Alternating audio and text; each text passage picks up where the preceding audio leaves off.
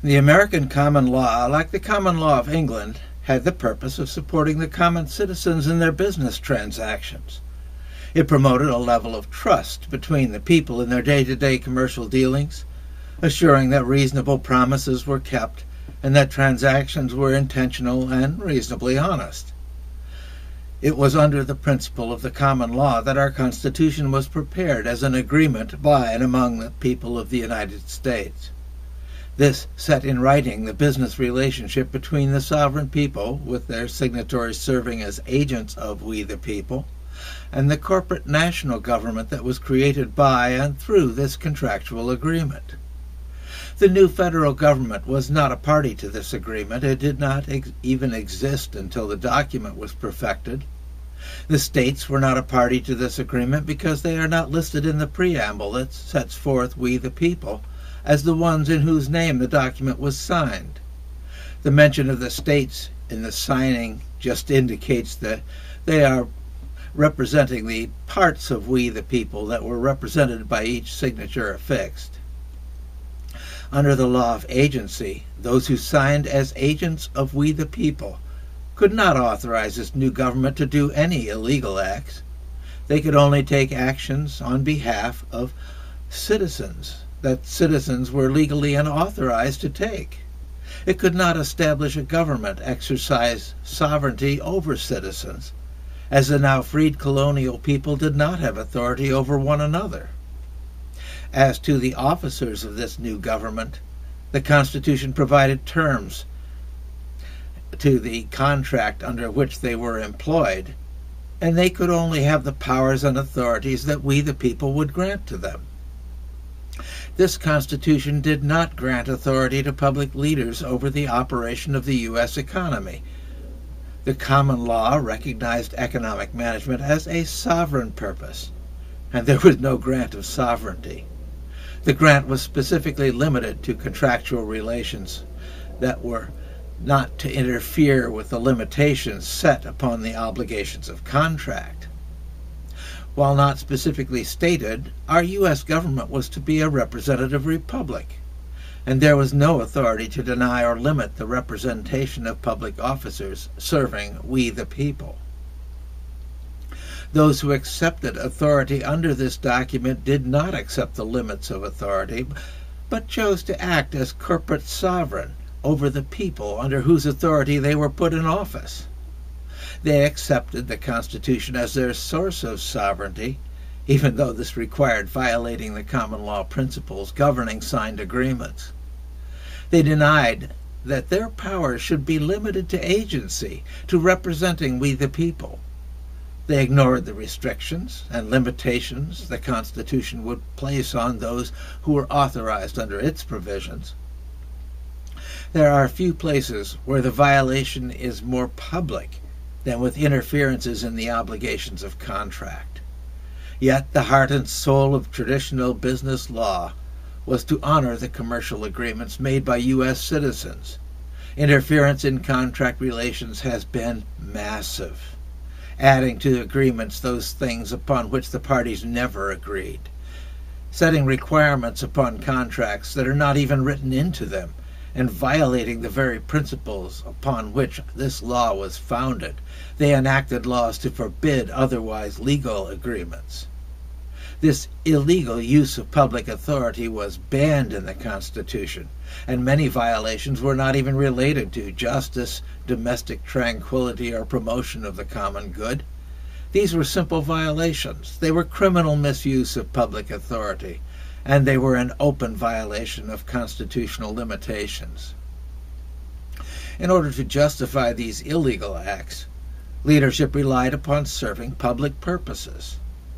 Our Constitution defines public purposes in terms of what was written into our Constitution's preamble, written into the founding document. These written purposes are the public purposes to be served by our constitutional government. It was to establish justice, ensure domestic tranquility, provide for the common defense, promote the general welfare, and secure the blessings of liberty to ourselves and our posterity. There is no valid public purpose for legislating provisions into employment contracts on which sovereign citizens who sign those agreements have not agreed. The scope of the violation of both purpose and law is so massive that it leaves one who newly discovers it aghast. It leaves today's citizens wondering what could possibly have been so important that our elected leaders would have engaged in openly criminal violation of their offices. The answer is partly found in the development of employment law, especially in the novelty of the establishment of corporate America as a predominant mode of commerce. In short, this change in commerce established a new business aristocracy. Those who ran large corporations as the barons of industry were, by law, given effective sovereign authority over vast sums of business resources. They were able to direct these wherever they could justify it as serving the business. It was serving the business, not the owners, investors, employees, or customers. It was establishment of miniature business feuds. The corruption of representative government accelerated when commercial corporate authority became the effective source of government resources. Accepting these resources came with representing non citizen corporations, who were not even entitled to representation in a Republican form of government. This was open and blatant corruption. The violation of trust with the people through representing business interests instead of sovereign people was a major source of illegal tampering with the common law purpose of supporting business agreements. The sovereignty based acts of interference first favored corporate leadership, not the citizens who worked in these corporate commercial businesses. Corruption spreads. The people who worked, who were also signed employment agreements, were the real source of government authority, and they also, as a corporate body, controlled vast resources. The leadership in non citizen corporate businesses who had gained influence with government leaders soon found themselves opposed by non citizen corporate labor unions who had like access to massive resources. There were union barons who were granted like influence on government leaders and who could then counter the business barons. So, where were the people in this? Where was justice for we the people when the conflict was a quarrel between those in the new business aristocracy, where neither set of leaders really spoke for the people? Corruption only breeds greater corruption. The damage done by the business aristocracy was not reversed, but matched by additional corruption by union aristocracy. There were additional laws that added provisions and conditions on employment contracts as favored by union leadership. If there is any good news in this, it is that the corruption and illegality of government action seems limited to employment contracts and con- corporate agency. The corruption that has not yet spread to other areas of business law. There is also a natural legal difference between employment contracts with non citizen corporations and employment with privately run businesses.